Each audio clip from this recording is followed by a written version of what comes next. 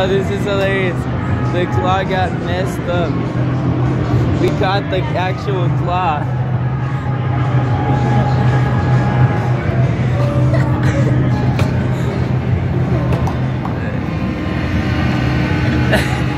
I'm touching the claw machine.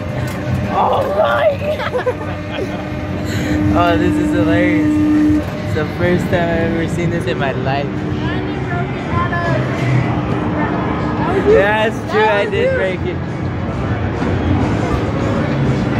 Uh, well, yeah, that happened.